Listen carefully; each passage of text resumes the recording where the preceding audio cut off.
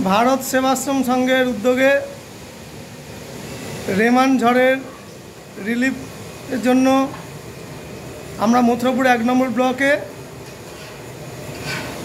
কয়েক হাজার লোকের খাবারের ব্যবস্থা করেছি আমরা রান্না করা খাবার। আমরা কিছুক্ষণের মধ্যে এই খাবার পরিবেশন করব। আমাদের খাবার তৈরি হয়ে গেছে।